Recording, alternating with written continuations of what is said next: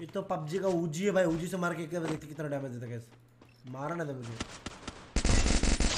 वो